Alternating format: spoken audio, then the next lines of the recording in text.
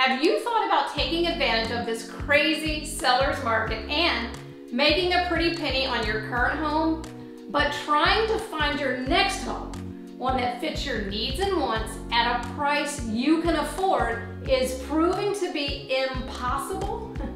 then you are not alone.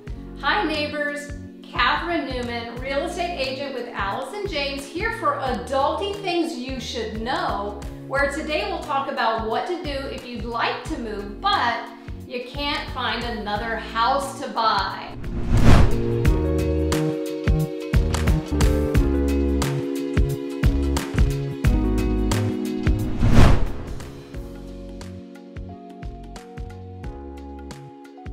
There's a wise old saying that goes like this. So, if you can't be with the one you love, honey, love the one you're with. Now, I know what that really means is if you can't be in the dream home you really love, then love the home you're already in, right?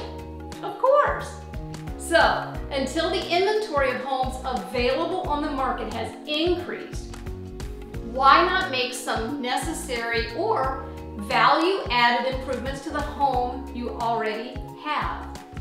First, start with necessary improvements that need to happen so that selling your home in the future will provide a higher selling price with less hassle.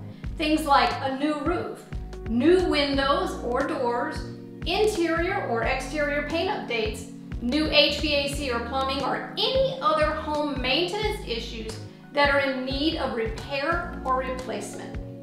Secondly, find out from your local real estate expert what aesthetic or cosmetic updates would provide added value for your home based on your home's age, condition, and in comparison to other homes in your neighborhood or area. These could be things like kitchen updates and new appliances, flooring updates, bathroom remodeling, or adding architectural details like built-ins, crown molding, entertainment centers, or even updated door hardware throughout. Remember, your home is an investment, and if you can't be with the home you'd really like to love at this point in time, then show some love to the home you're with that will increase its value in the future.